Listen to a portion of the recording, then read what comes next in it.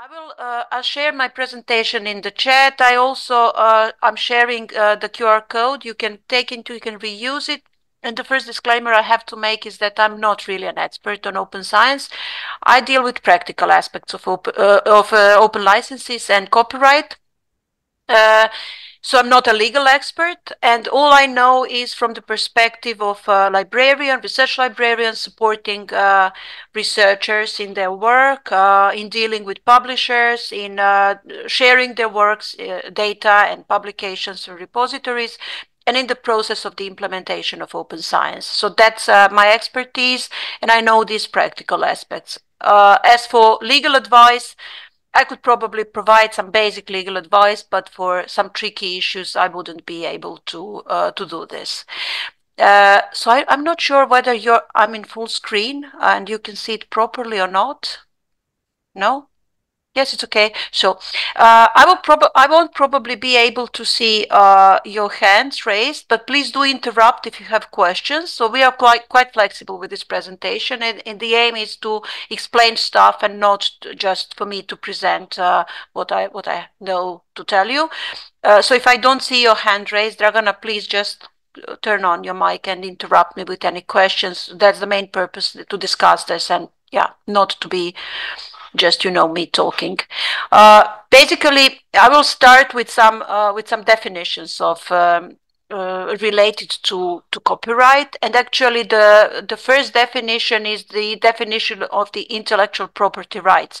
We are usually using the term copyright when speaking in English, which is not uh, entirely um, it's not very inclusive and it has a quite a limited definition. So if we talk about the creations of uh, human minds, then it's the right term to use is the intellectual property rights. So these are the rights that are related. This is the definition from the uh, World in, uh, Intellectual Property Organization.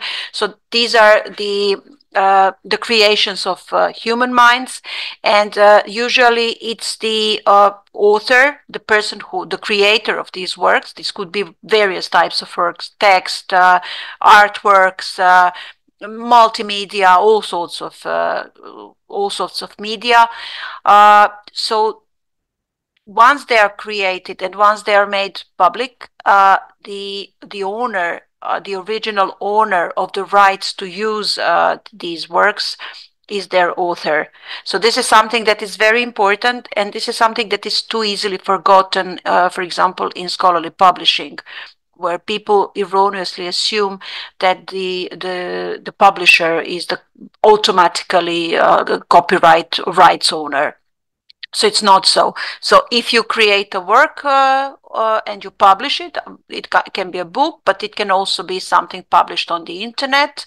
Uh, it's basically your work and you decide how this work can be used. So you, you own all the rights, you own the exclusive rights, and you can give some rights to the others. You can retain all the rights for yourself. You can sell these rights, a part of these rights. I'll sh show it later. And basically, copyright, uh, basically intellectual property rights includes uh, copyrights and rights related to copyright, sometimes also called neighboring rights and industrial property. So we won't be dealing with industrial property. It's much more complicated. These are patents, it's brands, etc. So we won't be talking about this because this is really not not that relevant to to your work uh, and to what you need uh, in dealing with digital humanities topics. So copyright is actually one uh, segment of intellectual property rights, and these are uh, it, it, it, applies to literary or artistic works. So that can be books, this can be other types of writing, It can be music, musical compositions, painting, sculpture, architecture, uh, and computer programs. Interestingly, for example, for me, it would be probably more logical for computer programs uh, for code to belong to industrial property, but it's not. So it's, it belongs to uh, to copyright, films, etc. And usually they are protected uh, uh, they are protected uh, for a certain period of time.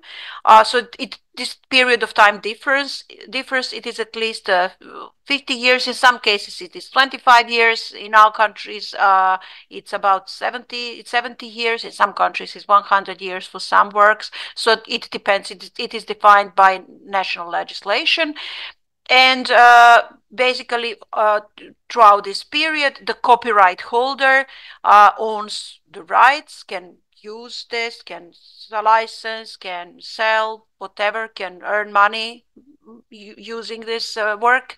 And then after the expiration of uh, this period 70 years after the author's death so persons his um, uh, people who inherit the, the author's property, other properties, they can also inherit uh, copyrights. So after the, the death of the author, this work goes into the public domain and you can see every uh, usually in january you can find news saying well, this year, these and these films, these and these compositions, these and these books will become, uh, uh, will go into the public domain. And thanks to this, to, to this, uh, to these regulations, uh, we have, for example, books uh, that are in public domain and anybody can uh, publish these books and uh, republish these books, reprint them, or publish them on the internet. Uh, but in case, for example, these books are translated, translations are also copyrighted. Uh, it depends whether the translation may not always be pos- it, may not always be possible to share uh, to share to reuse to reprint the translation because the uh, the author of the translation also uh, has some rights and uh, so it you can republish a translation 70 years after the death of the translator. So these are regulations that are usually embedded in national uh, legislation, national laws uh, relating to copyright. So we, we also have related or neighboring rights. Uh, and these are the rights of uh, performers, for example, actors, singers, musicians, musicians, uh, for example, um, performing somebody else's work. They also their work, uh, their creations, interpretations are protected by uh, copyright as well. And another term that is very important to understand is the term license. So license is a permission to use a work in a particular way. It can be exclusive, it can be non-exclusive, and uh, the the copyright holder can give license uh, to use to other people. So the, the original copyright holder is the author, and the author uh, can license the work to somebody else. For example, uh, an author of a book can give a license uh, to a publisher to translate and publish the translation uh, of their book, and this can be forever. Uh, it can be an exclusive license, so this publisher can uh, publish this translation forever and or this can be non-exclusive and be, can be time limited so this is usually regulated by agreements license agreements between copyright holders and uh, and the, the, users of the of the license.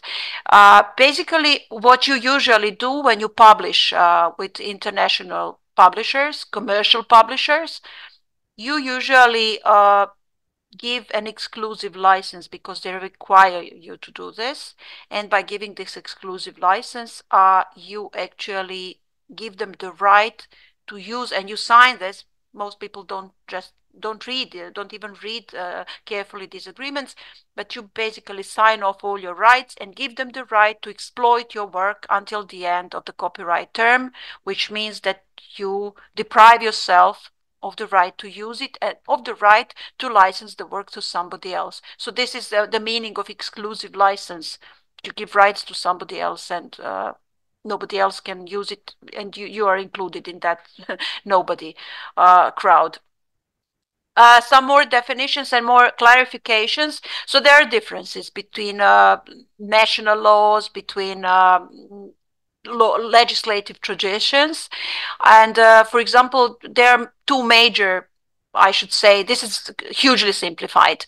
So there are two major traditions. One is Anglo-Saxon, and the other is uh, European they call it continental. I, I don't know, don't ask me about, uh, about other countries. There are different traditions in other countries, depending on uh, their local legislative tradition, on the whose colony they were back in history. So there are many different uh, traditions, but basically these are the most the most common ones and the ones that you most frequently encounter. So there there is difference. We usually say copyright, and it's say uh, it's right to say uh, copyright uh, to use copy the term copyright as a general overarching term. But basically, in most European countries, uh, and it is so in our countries as well, we have the term author's rights. So we don't really use uh, co copyright uh, when literally translated. It means the right to copy, to make copies, the right to use the content by making copies. And uh, in uh, in our countries, it's authors' rights. It's the right that is owned by authors. And actually, these terms and these traditions, they they have uh, in the background they have completely different uh, logic and different um, uh, different philosophy. So copyright is basically uh, copyright. The origins of copyright are related to uh, the, the, the, emergence of the printing press. So when the printing press uh, became reality, and there were many publishers, printers who actually made uh, mechanical mechanical copies of, uh, of, of literary works. Uh, copyright legislation was introduced to protect their, their rights. So basically, copyright focuses mostly on those uh, who invest in intellectual property, producers. For example, uh, in the US, uh, the producer is the copyright holder for a film, whereas in uh, Europe, in most European countries, the director, the creator, uh, is of the work is uh, the, copyright holder. So th this is the basic difference. basically, authors' rights in the continental tradition, they are related to human rights. They fall into the category of human rights. So your, your right to be signed, to be credited, to uh, be cited as the author of a work is a human right. Uh, and basically, in uh, this tradition, continental tradition, you usually have a division into moral and economic rights, which is, I, I really like this division. Uh, this division means that you can't uh, actually you can't assign moral rights to anybody else. So you can sell your economic rights. You can give an uh, uh, an exclusive license. You can completely transfer the economic rights and entitle a publisher to to exploit your work and you have no money out of it you, you you don't you don't even you have to ask to use your work but you cannot be deprived of your moral rights you will always have, they always have to credit you as an author. And uh, even if, uh, for example, an author dies and uh, uh somebody inherits the inherits copyright, they actually inherit economic rights. They they are not signed as authors of this. Uh, the moral moral rights always remain with the original author. So this is typical of um, of continental legislation. Uh, on the other hand, in the Anglo-Saxon tradition, moral rights are less important, and someone sometimes they are not even mentioned in the law. They are not. Uh, they don't even exist in in legislation, which is different. Another difference, and this is something that is. Uh, that, that is where the people usually confuse these things and you can hear for example people in european countries saying i'm using uh, this and this video uh, under the terms of fair use so this is not correct because in in uh, continental legislation, uh, fair dealing and fair use don't exist. Fair dealing is actually the use of copyright copyrighted materials uh, for a limited uh, scope of purposes.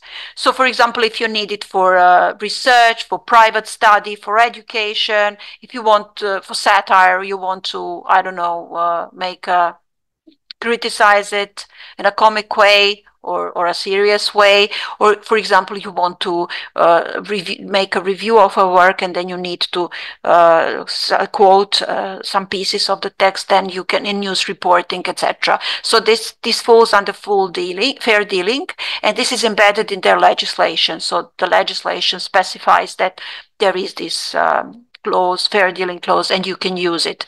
Uh, there is another uh, in in various so in Anglo-Saxon countries uh, there are differences between them also. So in some countries you have fair dealing, in some countries you have fair use. Fair use is very similar to fair dealing, but it's broader.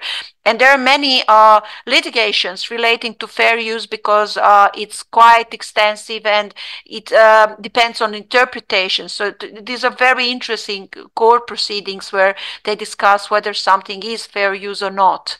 Uh, and uh, it, it's really interesting. So uh, in continental legislation, we don't really have this. So it's not okay to say, so this is fair use because it's you you don't have a legal right to uh, to use something under fair use because it doesn't exist in your legislation. Uh, we have copyright exceptions and they are more limited uh, and they are defined in the legislation so they're not that extensive as fair use and they are also limited to temporary acts of reprodu reproduction quotation teaching research etc private copies and it, what is most important, uh, these are accessible formats for disabled people, disabled peoples, people. Uh, so this is something that libraries uh, have to deal with, uh, and they have many issues uh, and there, there is ongoing struggle uh, because publishers, commercial publishers, they they strive to limit uh, the ways uh, you can use uh, a particular work. So, for example, uh, if you want to make a book, a digital book accessible to people who, who are visually impaired, you will probably have some issues. There is a, now an international treaty dealing with this, uh, seeking to enable libraries to to make uh, these books accessible. But there is an, an, ongoing struggle. Not every countries have accepted this, and uh, publishers are trying to undermine these efforts. So it's a it's a very serious concern and it's uh, yeah it falls also into the remit of human rights but uh, this is this can also be an exception. And it, it, from country to country these exceptions are uh, different. So yeah there is a kind of a minimum that all of them have but some countries may give uh, may have a more extensive list of exceptions and the other countries have more limited. And also there is a difference uh, relating to something that is called work for hire. This is uh, where, where you, for example, you're as we all of us are, we are employed with a, a public organization or a, a private uh, company. And in the uh, US, especially, and in other Anglo-Saxon, not all Anglo-Saxon countries, but in US especially, so if you work uh, for uh, an employer, the copyright will automatically belong to the employer. And this will be for the entire uh, duration of, of, of copyright so this means 70 years after your death. Uh, in uh, continental legislation, not not all countries. This this clause doesn't exist in uh, each country. For example, I, am not sure whether it exists in French legislation, but for example, in Serbia it does exist, and work for hire is limited, temporarily limited. So, for example, in Serbian law, uh, if you're employed uh, and you create something, it's it's in your job description to create to have some creative outputs. These creative outputs will belong to you as an author in terms that you, you will have moral rights immediately. You you will be credited as an author. But for the first five years your employer will have the uh, exclusive right to use uh, the work. And then after the expiration of this period of five years then all the rights, eh, the economic rights also return to you as a creator. And that's very important. Actually, many people don't really know this. So, uh, so if it's not, this can be uh, uh, defined differently. For example, in the US, this can be defined differently by uh, mm, by agreements between employees and employers, and this can also be defined differently um, in in our countries, but basically if it if it's not defined differently in uh, using by means of an agreement, then it's uh, basically uh, the, the, law automatically applies. So you have this right after after this period. So check check your uh, copyright law. After the expiration of this period, you will uh, be able to exploit fully exploit your uh, your copyrights. Eh, so so this is something this is very practical information and i uh, usually explain this because people tend uh, people don't really understand when they find these notices. For some reason i don't know they, they are not really clear. So you when you uh, find copyright information it has two main parts. So you usually say see this copyright then you see a year when the work is copyrighted might be the, the work the, the year when it was created but it may be a different year. Then you have the name of the copyright holder and after that you have usage rights usage usage conditions conditions terms of use actually. So but also this is in this first case so this says that this work was copyrighted in this is a journal article uh, by the way. So this work was copyrighted in 1985. The copyright holder is Springer, the publisher, and all rights are reserved. When all rights are reserved, this means that uh, you can't use uh, you can't use this work without us asking uh, permission from the publisher. For example, you want to uh, actually, for example, translate this article, you can't do this because this license doesn't allow this. You want to deposit this work uh, in a repository and make it open access, which means disseminate it further. You can't do this without asking permission from the copyright holder. In this case, copyright holder is the publisher. And uh, the publisher is the copyright holder because the original author, the authors of the manuscript, they signed an agreement uh, by means of which they actually gave away their rights to the publisher and they don't have the rights anymore. They they are credited they are they they, they retain their moral rights but the publisher uh, is if you want to ask for permission to use this work you have to ask the publisher the copy who is the copyright holder uh, basically, if you don't see, if you see just the first part, copyright, or you, or you don't see anything, so you, for example, you have a website and there is no copyright notice, it is implied that all rights are reserved. So this is uh, important to highlight because in uh, in our region, we have how to say we lack uh, the copyright culture uh, because for many reasons there is a kind of it's not a legislative transition, but it's a cultural tra tradition, I should say. So when we find something on the internet, we usually uh, wrongly imply that this can be reused, but it cannot be reused. So if uh, in order to make things, and we will explain this later, in order to enable people to use your work, you have to put a license on it. You have to allow them to use. So our logic is usually, so it's not forbidden, it's allowed as long as it's not forbidden. But in terms of copyright, this is not a right logic. It's just the opposite. So if it's if the rights are not given explicitly, it's implied that they are not given, that you don't have any rights and that you have to ask permission. There is another case. Uh, so this is uh, this the the second uh, copyright uh, notice is for a work that is published in open access.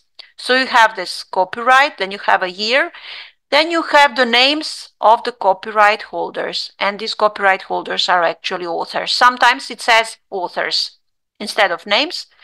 And then it says this is an open access article distributed under the Creative Commons Attribution License. And then it says uh, what the license permits. So you can, because the license is permits unrestricted use, distribution, even commercial use is allowed under this license.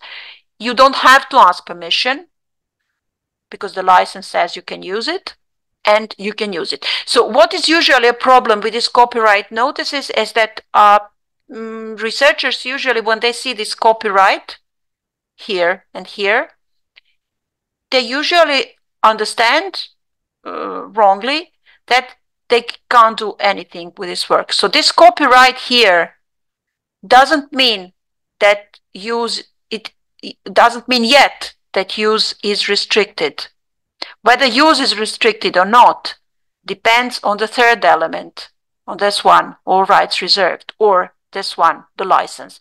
So you need to know how to read those elements. So this means just this is the copyright information. This work is copyrighted. There works, there are works that cannot be copyrighted. That don't uh, a work has to contain this creative element in order to be copyrighted. You you just can can't just make a selection of some things that are I don't know uh, don't have this creative element and say, well, this is a or mechanically reproduce something and say, well, I, I reproduce this, uh, this is copyrighted. It's, it's not. So there are things that are not copyrightable. So this means that the work is copyrightable and that there is a copyright information and that you should continue reading in order to learn how to use this, uh, uh, this thing. In case this license for example, said Creative Commons attribution non-commercial, and you would like to use this work commercially, then in this case you would have to ask the copyright holder. In this case, this, these are the authors, so you would have to contact the authors in order to be able to, to ask and then to get their written permission to use uh, the work. So uh, the, the first case here, transfer of copyright. So you have uh, publication agreements are usually signed uh, between authors and uh, and publishers, and this is usually so for uh, publica scholarly publications, for books, for uh, scholarly articles, uh, and uh, for some reason, researchers usually don't read these, and they just, you know, they they are in position to they're striving with uh, promotion criteria, with research assessment criteria, and research assessment criteria require them to publish as much as possible and also require them to publish with certain publishers who are considered prestigious publishers, good publishers, etc., which is not always the case. And then uh, they are in a position to sign off their rights. They need to publish. They need to publish with a certain publisher. They need to score some a certain amount of points, and they just sign these agreements. They don't negotiate, and they're not. The problem is that they are not even aware that they can retain some rights. They are not even aware that they don't have to sign off all the rights. So we have a problem. Librarians, institutions, we all have a problem.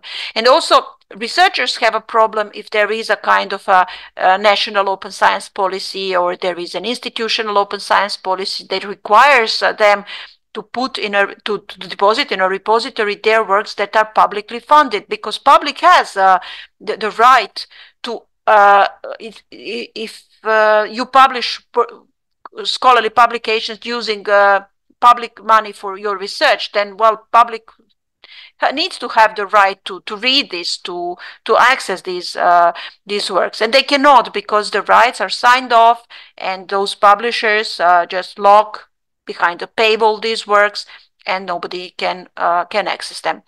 So this is a kind of a typical uh, requirement and uh, there is a contract and you sign this contract and uh, by the means of this contract you transfer copyright to to the, to the publisher uh, these terms may be different.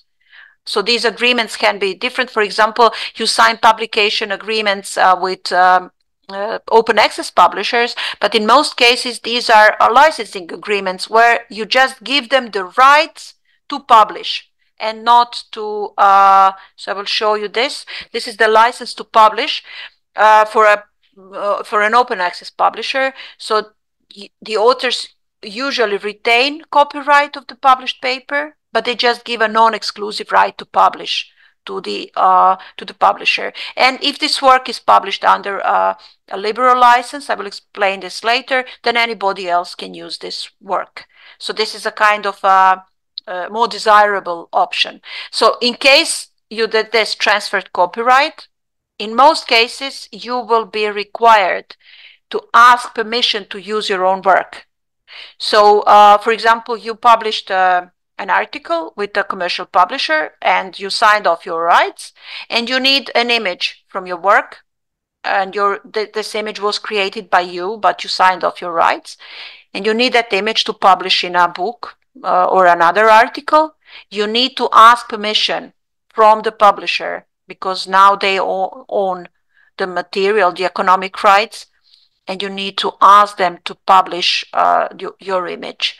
So some of them uh, have in their policies, they, for example, would reuse, uh, uh would um, allow reuse of, uh, of such materials, for example, in PhD thesis automatically. Some of them, for example, wouldn't require you to pay for this, but you will probably, I don't know, uh, you will have to to, to ask, but they, they will send you the permission without asking you to pay. But in some cases, they will ask you to pay. For example, if you would like to use uh, uh, your own material, your own material created by yourself, but with copyright transfer to the to the publisher uh, in a commercial publication they would probably ask you to pay for this and this is well this is not fair but this is so because you you signed such an agreement uh, for most commercial publishers, those big ones, you have uh, uh, as an option this uh, copyright clearance clearance center. This is a company. Uh, to, to, to the, the image on the right, the screenshot on the right. This is a company, a commercial company, and actually all those publishers they outsource this company to to do this copyright clearance for them. Copyright clearance means uh, people ask permission to use something and then they either get or don't get or get it under certain condition, but there is a, a, a standardized form and then they fill out the form. And uh, in case uh, this is something that publisher allows, they get a written license agreement to use this particular image in this particular book. Not in all books they want to publish, but in this particular book. And they need to provide information about this particular book or a PhD thesis. Sometimes uh, it takes a bit longer because, uh, for example, if charges are involved, then you need some correspondence through the system. So you log, uh, sign in, uh, register, and then you sign in. It's free and but you communicate through the system. Uh, in case of some smaller publishers uh, who are not outsourcing this company, uh, you will probably have to uh, contact the publisher, and this is usually done by means of a simple letter where you say, so I'm the original author of this uh, work, and I need to reuse this, this, and this. So either you want to publish the whole text or parts of the text, or you need some images you explain and you explain you must uh, state uh, where you will be reusing it when is the publication of this new work is due and under which condition and whether it's commercial or not. And then uh, you have to wait for some time to uh, to get a kind of response. Sometimes they don't respond really. If they're small publishers i had such cases that they don't respond. And one of the situations for example in serbia we have uh, a national open science mand open access mandate for PhD th thesis. And uh, uh, the theses are automatically after the, the defense, they are automatically uh, open access. They are available in the national repository. So some faculties, there should be all, but not all of them are doing this. Some faculties require authors to clear the so-called third-party copyrights uh, before uh, submitting a PhD thesis because this would be an issue. If a thesis is licensed under an open license and there is a, uh, an image or something that is copyrighted, uh, the copyright holder can, for example, uh, require this PhD thesis to be taken down and then you have a complicated situation then you probably have to take it down then you have to remove this image which affects the integrity of the work etc so this is an issue and that's very important uh, for students uh, phd students to know uh, about and i usually do trainings for them to and i usually support them uh, practically. So they come with a list of images and we try to do this uh, clearance. So we try to establish the origin of the work which is sometimes very difficult.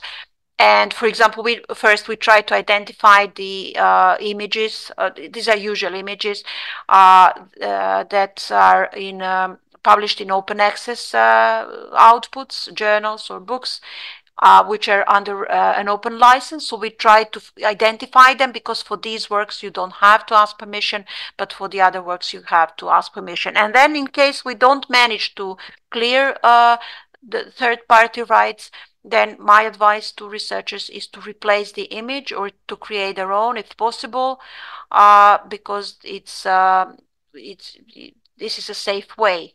So it's it's legal. It's not okay to keep uh, the, the materials that were we with not clear copyrights with, without permission in a, in any work. So I explained the license to publish. Uh, so I will now explain what how you can retain some rights even if you sign a copyright agreement with a publisher or with anybody else. So uh, in many countries and an increasing number of countries, we are now having uh, open access policies. And these can be national. For example, in Serbia, we have a national open science uh, policy, uh, which requires open access to scholarly publications. Uh, and uh, it allows a kind of an embargo. So you need to make your works uh, publicly available but it, this cannot this doesn't have to be immediately. This can be after an embargo of, uh, in humanities this embargo uh, is 18 months. So with this means after eight months your publication needs to be available uh, in open access in a repository. But this can be institutional uh, policies uh, so in for example in uh, our countries are usually more centralized so it doesn't make sense for an institution to make a kind of policy if it's not aligned with a national policy but with in some other countries that are more bigger more decentralized institutional policies have a, a are more important. And we also have funder policies. For example, European Commission is a funder and they have their own policy which requires immediate open access. So e even if you have your national policy allowing uh, an embargo if you are funded by the European Commission, which are the public funds of the citizens of the European Union, then you you can't use uh, the benefits of this embargo. You need to make your work immediately available because the funder requires so. Uh, so uh, basically, uh, this re rights retention is possible even if you you're transferring copyrights. And there are multiple ways to do this. So for example you can ask uh, uh, when before signing the agreement you can say so i need to add a clause to this agreement. There i won't be explaining this now in detail but there there is a kind of a standardized alter addendum that says uh, okay, I'm transferring all the copyrights to the publisher, but I need to make uh, my uh, author accepted manuscript, so not the published work, but the manuscript uh, that is still not uh, uh, typeset.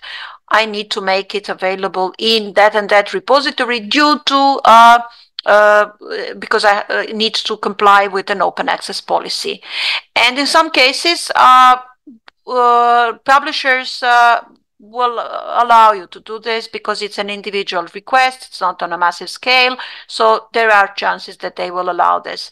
And also, I will explain two interesting cases that are gaining uh, in topicality, especially, for example, in Bulgaria, because Bulgaria uh, last year changed it uh, copyright legislation to allow uh, to allow authors to make their works open to to help them actually make their works open access.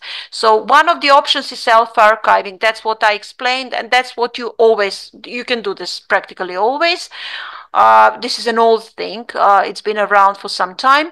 So basically uh, the the main thing that you need to know about is that uh, you are the owner of the manuscript uh, publishers, uh, when they accept manuscript for publication, they do the typesetting, they uh, design it, they put their, lo their logo on it, and they say, okay, we've in invested a lot in this, and you can't uh, you can't use uh, this work.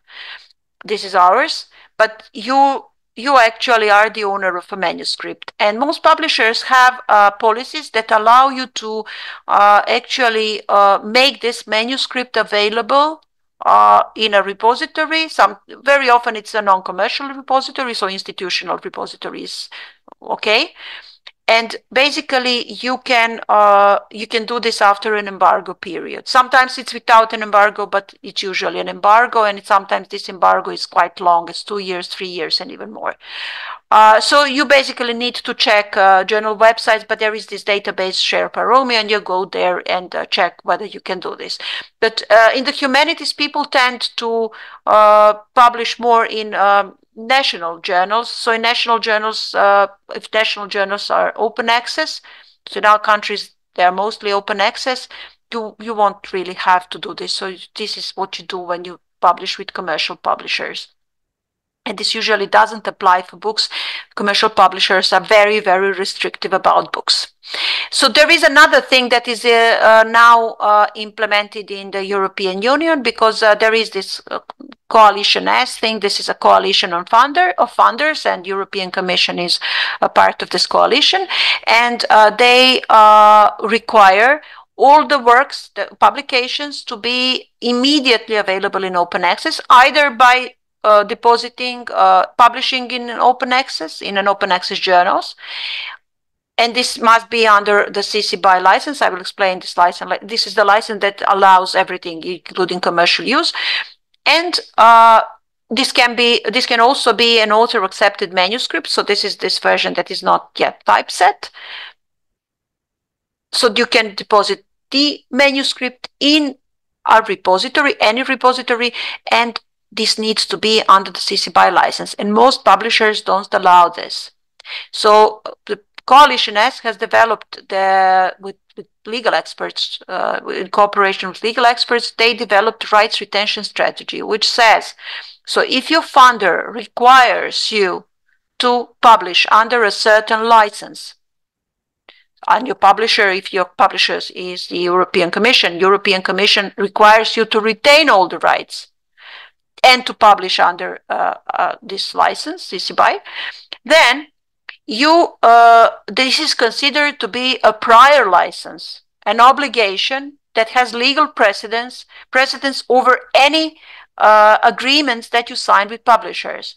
So if you put a license on your manuscript and the publisher is informed that you need you have this kind of obligation, this is uh, uh, you can actually uh, this has legal precedence and you can later publish your manuscript in the repository under this license although the public publisher self-archiving policy says something else. So this is quite complicated and uh, there is a, a struggle. There is a fight between publishers and funders about this topic. There are also institutional policies, especially in the UK, requiring rights retention. So this is an ongoing story. I don't expect you to understand the details now, but it's very important to understand that there are uh, there is always a possibility to retain some rights and that we need to develop a different copyright culture that uh, empowers authors where authors are because they feel helpless they feel blackmailed.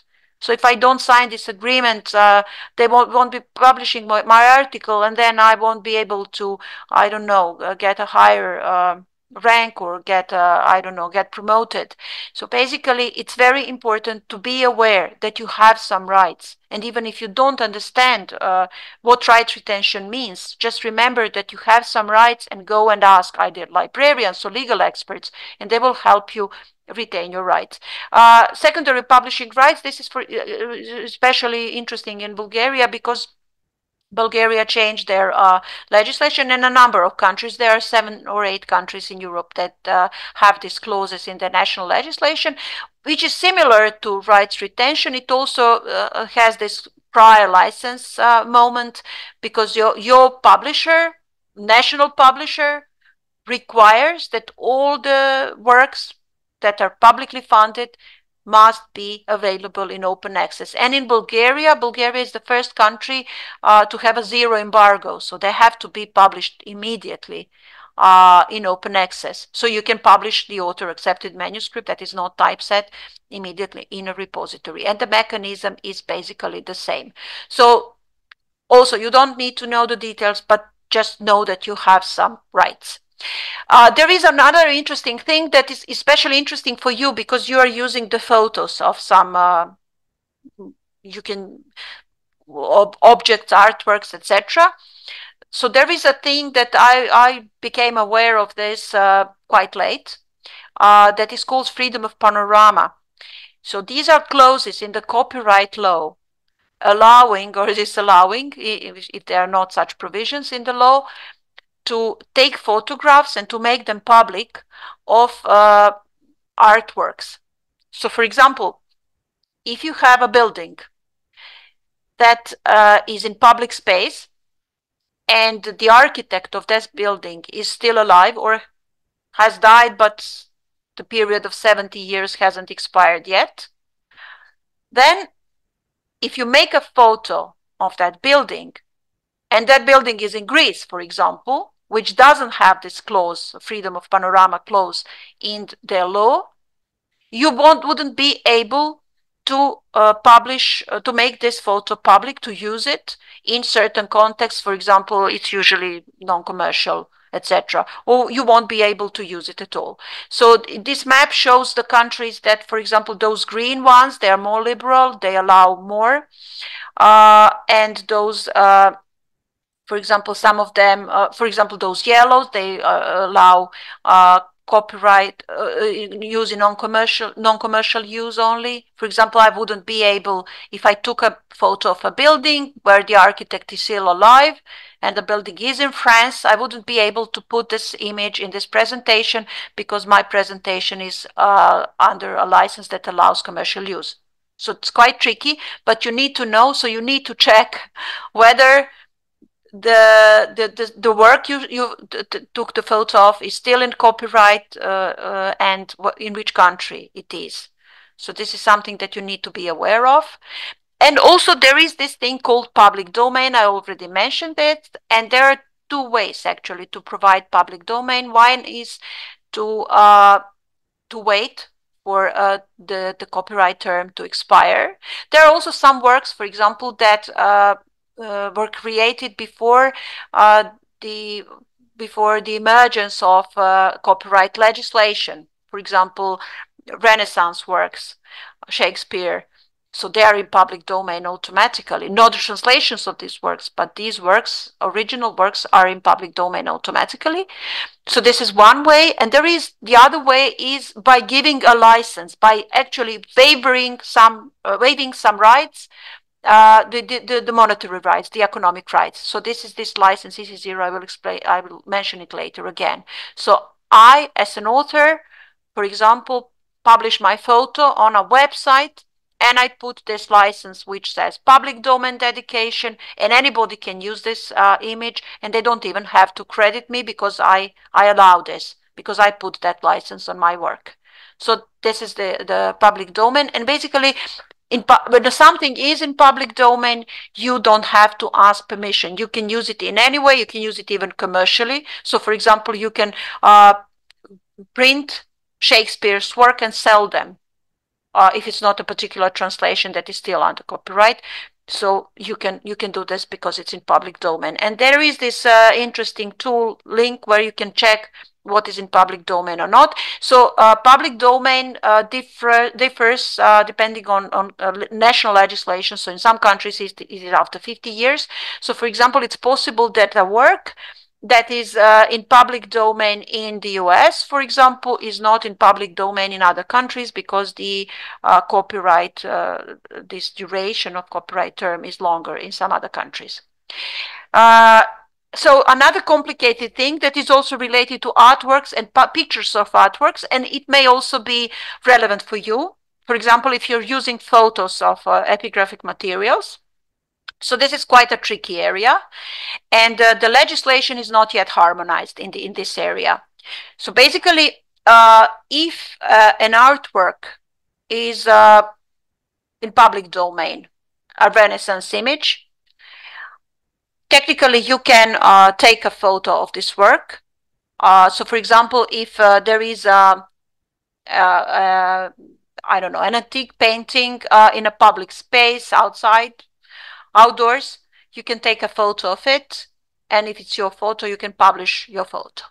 But if you found if you found a photo that was taken by somebody by somebody else of the same monument, and the author is still alive or hasn't died 70 years ago, then you won't be able to do this. So you would probably have to ask the author of this photograph to uh, to use this. There are discussions saying that well, this is a kind of uh, you know a photo of an artwork. This is a kind of technical reproduction, so it doesn't contain this author element, this creative element. So this is disputable. So if you are using this, then you should keep it on the safe side and ask permission. Uh, sometimes uh, artworks are protected by copyright. For example, uh, you have a painter painting and the painter uh, died 50 years ago and then while it's still copyrighted, then you can't uh, you can't make a you can't make public uh, you can't use a reproduction. But basically, if the artworks, uh, this first case when artworks in a museum and although they are uh, they are in public domain, the artworks. There are restrictions that can be set by museums, and they are usually set by the museums because museums are exploiting these works and they are owners and they can do set limitations by um, uh, terms of use so you probably won't be able to use it. So I had, I put an example here. So for example, I made a photo of a painting in a museum, but I couldn't put this photo here because this presentation will be publicly, it's now publicly disseminated and it can be used commercially. So I couldn't put the photo here because there are limitations set by the museum's terms of, uh, terms of use. So this is really, really complicated. And uh, if you're creating a database that contains uh, photos that are taken by somebody else, then you need to take care of copyright clearance. So you need to check who the author of the photo is and uh, to ask permission to use it or not. And also uh, you, if it is in a museum, also you need to ask permission uh, to use it. Uh, there are still ongoing discussion. This is a huge uh, issue, and there are still ongoing discussions about this. So this legislation will probably uh, change and will probably become more more uh, open, more liberal. But at the moment, it's quite quite complicated. Uh, so licenses in the digital environment, we are now coming to the to the Creative Commons licenses that that were probably mentioned uh, during the previous days.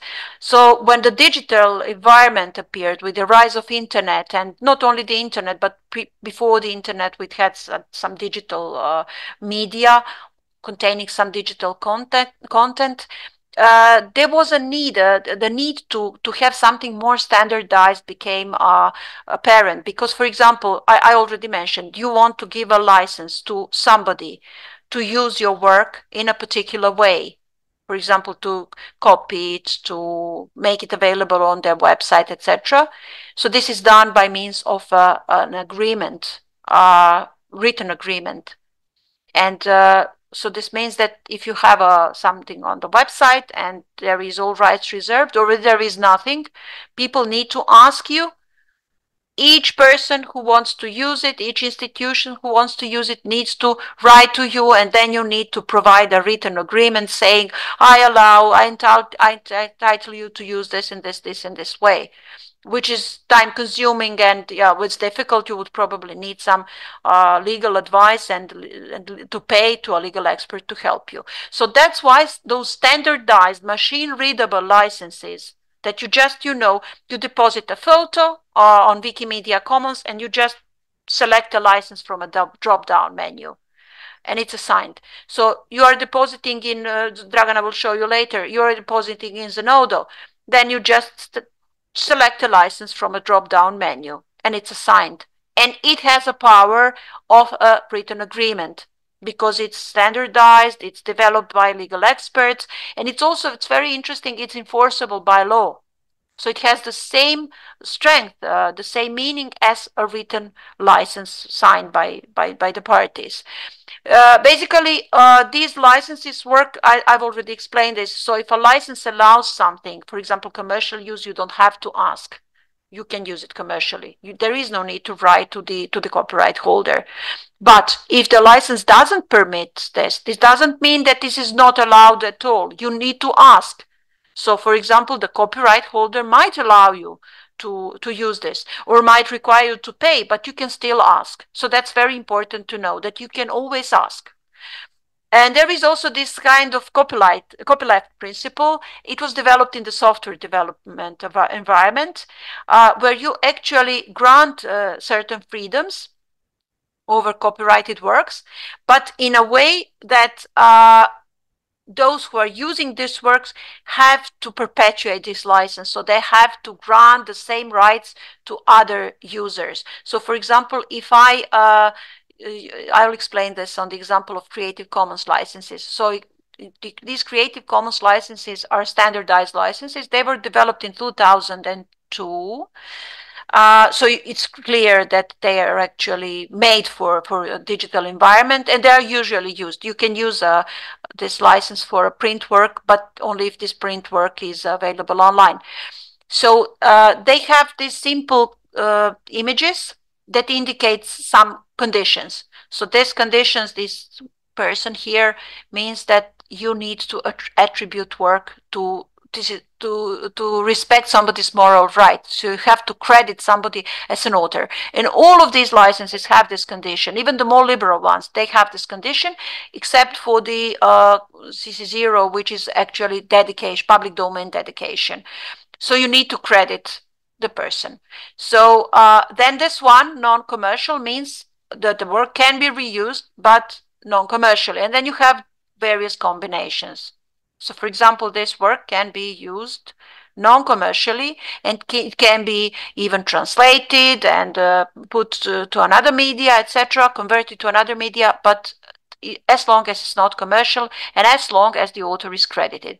But if you have this uh, sign, this means that the work can be used only as it is. So you can't make translations, for example, of this work. So these combinations give different licenses, which are covered quite much. And then you have this diagram showing what is allowed and what is not allowed. So I, I will now explain this copyleft, copyleft thing. So for example, if I put this license, Creative Commons CC BY, this means that my work can be used commercially. So this presentation that you are now watching uh, is under this license. And you can, if you wish, you can use this uh, presentation, you can print it, and you can sell the, what, the, the, the printed versions, or you can sell uh, the, the digital versions of, of this present this very same presentation. And i don't mind i i allow this. I put the license that allow this.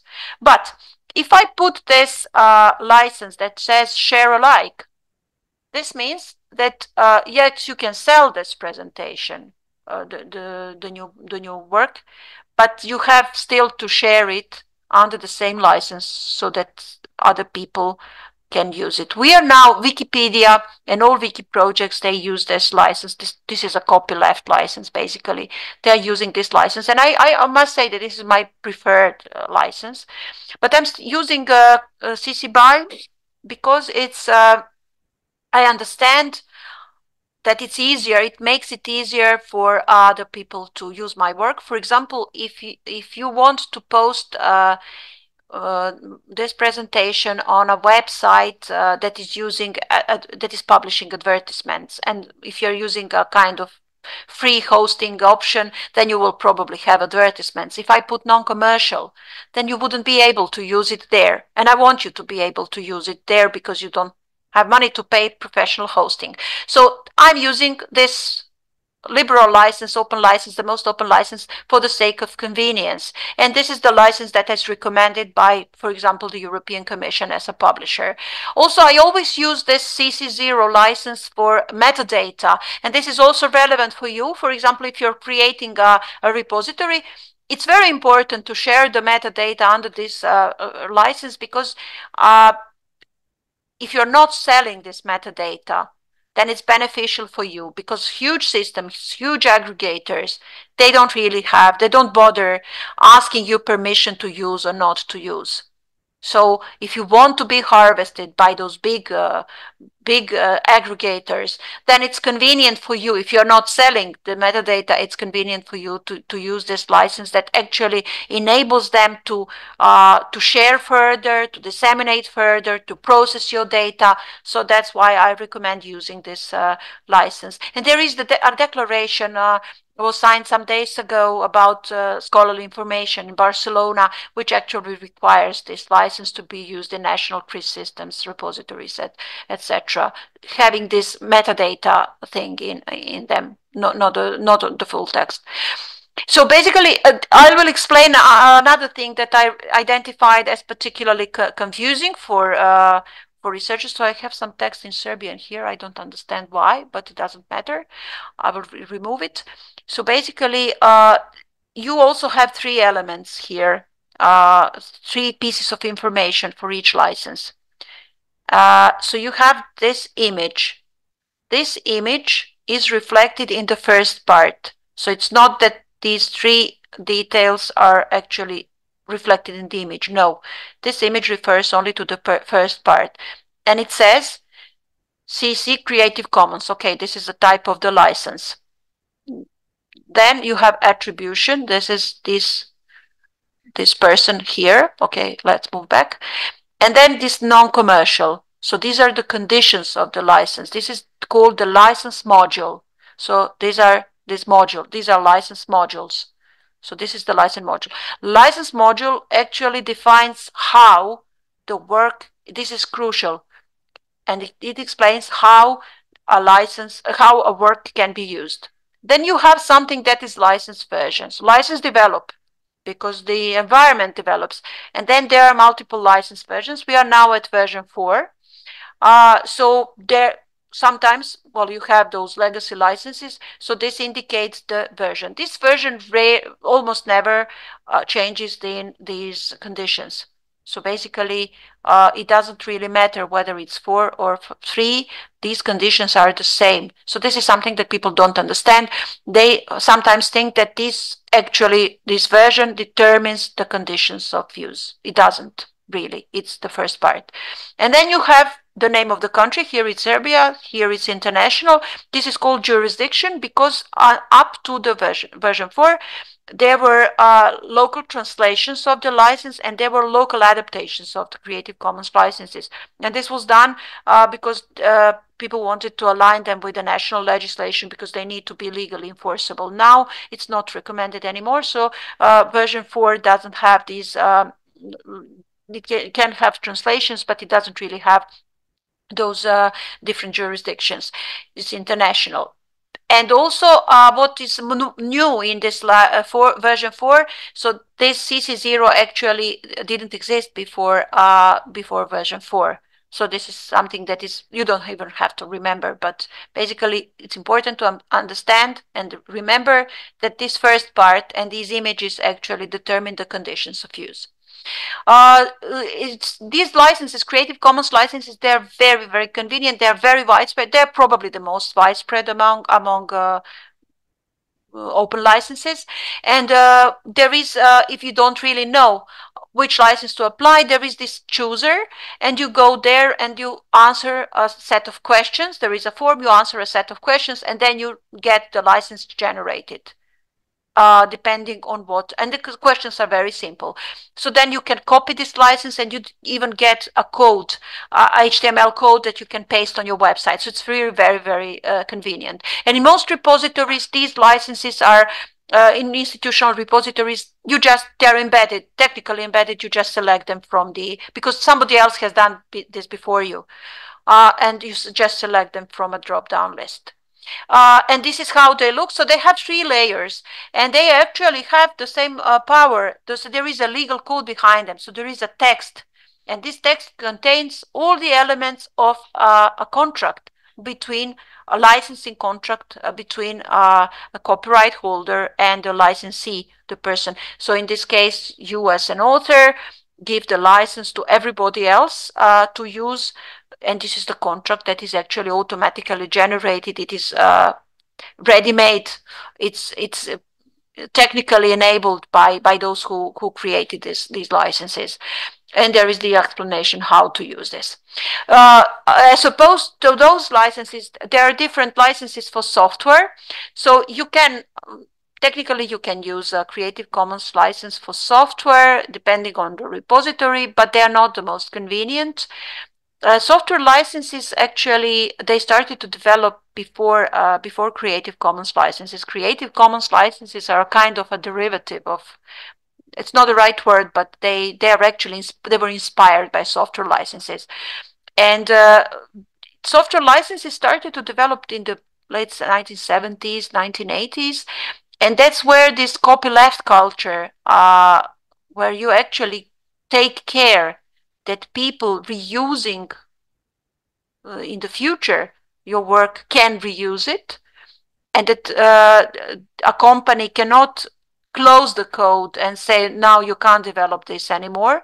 So this culture of open uh, copyleft culture it actually emerged in, emerged in the software software environment. So there are many such licenses and uh, usually if you have software code these licenses are usually uh, they're machine readable so they are embedded in the code and you are required not to change this piece of code, crediting all the previous uh, contributors or, or, original authors of, of the software. They're quite, quite complicated. So they're quite complicated even for, for people developing software, let alone uh, us. But it's good to know that they're, that they are different and that you they're publicly available so you can check them. Also, there are some other data licenses. I only mentioned one. This is Open Data Commons. It's very similar to this copyleft license uh, CC BY Share alike. So it depends on the repository. So some repositories have this license embedded in it. Uh, but this is adjustable. Yeah, people developing repositories can choose which licenses to embed. So now there is a, a new emerging issue uh, I don't know much about this. Uh, so we all, uh, last year, we were all a bit a kind of uh, in a state of shock with the emergence of these chatbots.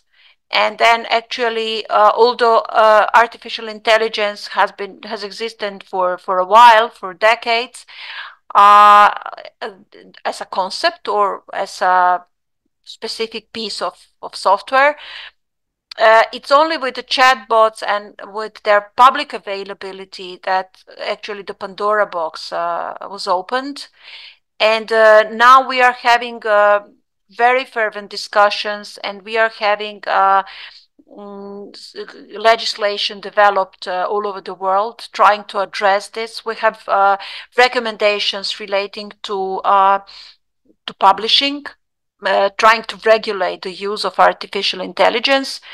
So basically, uh, I recommend here using this very simple, it's, it's been published weeks ago, uh, this uh, document. It has about 16 pages and it's uh, developed by the by WIPO and uh, it actually highlights some of the challenges. So which are the challenges related, for example, to the use of generative artificial intelligence? So generative artificial intelligence, these are tools that actually create something new.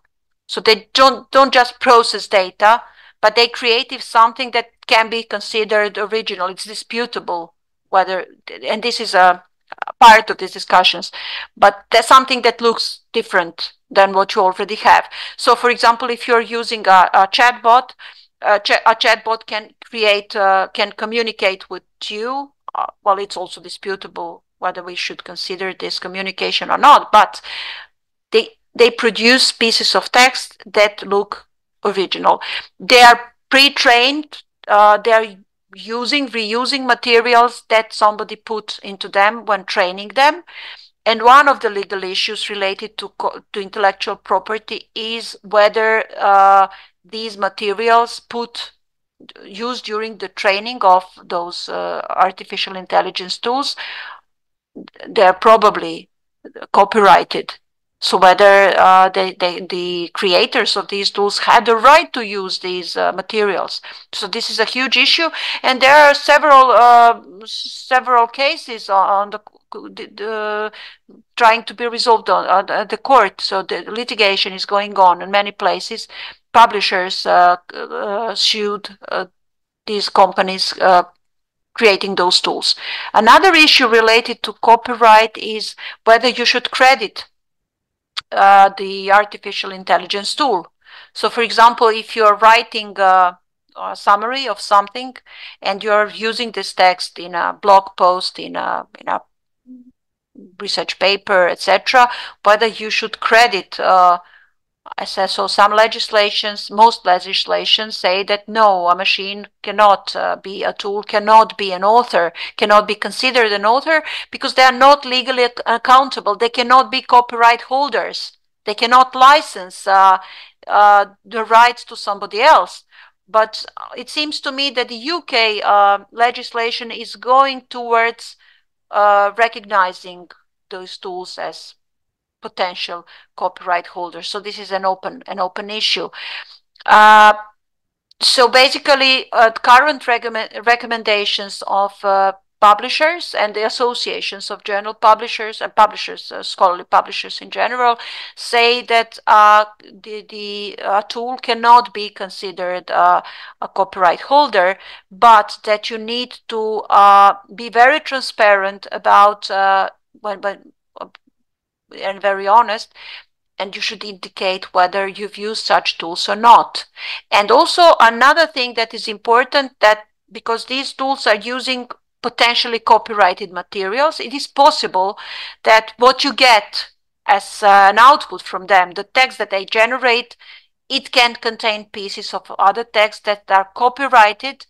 And this is there is a risk of plagiarism accusation. So this material can be recognized as plagiarized, and plagiarism is usually associated uh, with uh, copyright infringement. And then sometimes, uh, if you use uh, a lo longer pieces of somebody's text, then this is copyright infringement, and which is uh, in the West, it's more severe than plagiarism because you can be sued for this at the court. So there are many, many uh, elements and there are many open issues relating to this. I highly recommend uh, uh, using, using this, reading and using this uh, manual and uh, actually keeping an eye on the developments in this area because these recommendations tend to change and we are we uh, are still expecting the major legislation relating to this. Uh, European uh, Union is working on this a lot. And uh, the problem with these uh, generative AI tools is that we don't really know everything about them. They are not very transparent, and we don't really know how they uh, they work. And uh, there are some issues. We at this moment we can't even identify all the potential issues related to intellectual property. Uh, that's basically all that I have to say. Now I'm sh sharing the slide because you have some resources there. And some of these resources are actually uh, a bit uh, more, um, include some other sources. So for example, uh, about rights retention, you have a selection of sources. So this is not only one resource, it is links. And uh, that's all.